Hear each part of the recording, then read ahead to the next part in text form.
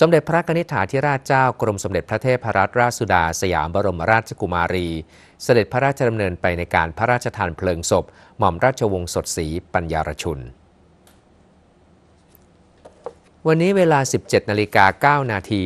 สมเด็จพระนิธิถาธิราชเจ้า กรมสมเด็จพระเทพรัตนราชสุดาสยามบรมราชกุมารี เสด็จพระราชดำเนินไปยังเมนหลวง หน้าพระพลาอิสริยาภรณ์ วัดเทพศิรินทราวาสราชวรวิหาร เขตป้อมปราบศัตรูพ่าย กรุงเทพมหานคร ในการพระราชทานเพลิงศพ หม่อมราชวงศ์สดศรีปัญญารชุน ซึ่งถึงแก่อนิจกรรมเมื่อวันที่ 20 พฤศจิกายน 2566 สิริอายุได้ 84 ปี หม่อมราชวงศ์สดศรีปัญญารชุนมีชื่อเดิมว่า หม่อมราชวงศ์สดศรีสุริยาจักรพันธ์เป็นธิดาของพลโทหม่อมเจ้าคัสตวัตจักรพันธ์กับหม่อมเจ้าทิตยาทรงกรดและพีพัฒน์เกิดเมื่อวันที่ 21 กรกฎาคม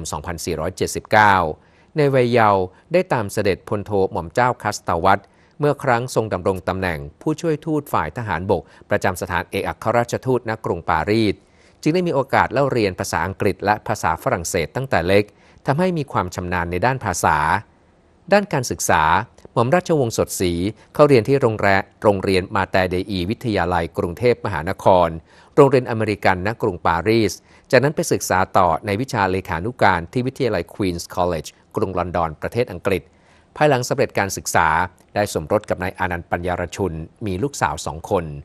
หม่อมราชวงศ์สดศรีปันยารชุน ได้ติดตามสามีทำหน้าที่ภริยาเอกอัครราชทูตไทยประจำประเทศต่างๆ มีโอกาสรับเสด็จพระบาทสมเด็จพระบรมชนกาธิเบศรมหาภูมิพลอดุลยเดชมหาราชบรมนาถบพิตรและสมเด็จพระนางเจ้าสิริกิติ์พระบรมราชินีนาถพระบรมราชชนนีพันปีหลวง เมื่อคราวเสด็จพระราชดำเนินเยือนแคนาดา นครนิวยอร์กกรุงวอชิงตัน และนครลอสแอนเจลิสสหรัฐอเมริกา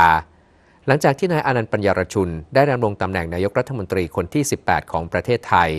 หม่อมราชวงศ์สดศรีได้ทำหน้าที่ภริยานายกรัฐมนตรีอย่างเต็มความสามารถ ประกอบกับคุณงามความดีและผลงานที่เคยทำไว้จนเป็นที่ประจักษ์ได้รับพระราชทานเครื่องราชอิสริยาภรณ์เหรียญรัตนาภรณ์รัชกาลที่ 9ตติยะจุลจอมเกล้าประทมาภรณ์ช้างเผือกและมหาวชิระมงกุฎ